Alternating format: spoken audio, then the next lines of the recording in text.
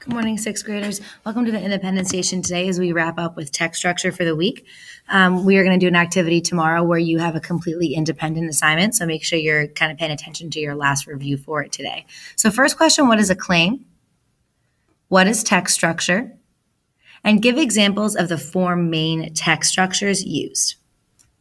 Okay, so right now flip to this back page in your packet. I know that we filled, there's two boxes like this. We filled the top one yesterday, so go to the second one. This is what we're going to do today. And then number that second box like this.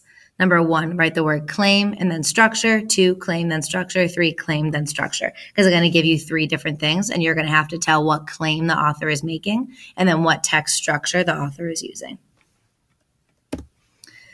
So, number one, have you ever showed up to class absolutely exhausted and don't exactly know why, especially if you got a great sleep the night before?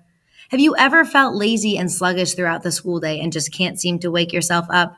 If this is true, the first question you should ask yourself is Am I eating a strong, healthy breakfast in the morning? Eating breakfast in the morning replenishes your body's supply of nutrients and keeps your energy levels throughout the day. So, first, what claim is the author making here? What is the author arguing?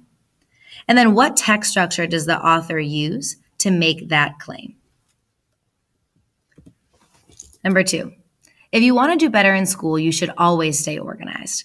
Students who stay organized often receive better grades and higher paychecks because they have all of their materials with them, never receive deductions for missing a pencil, and are able to refer to past notes in class. Students who are disorganized often lose their materials and don't have all of the learning supplies that they need. Their missing materials show up on paychecks and affect their ability to earn celebration. So, what claim is the author making here? What text structure does the author use to make that claim? Make sure that you're jotting down these notes too, right in this box that I put right here. So claim structure, claim structure, and then we have one more. Helmets are an incredibly important part of a bike riding experience. A helmet free bike ride can lead to serious accidents, such as broken bones or even brain damage. Because riding a bike without a helmet is also against the law in certain places, you can actually get in trouble with the law if you don't wear one. What claim is the author making here? And what text structure does the author use to make that claim?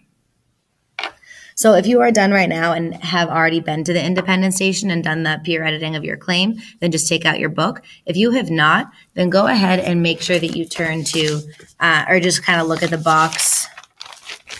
Look at this part right here where you were supposed to have written your claim yesterday. If you haven't finished it, make it super strong and make sure that the text structure is obvious so someone is ready to read it.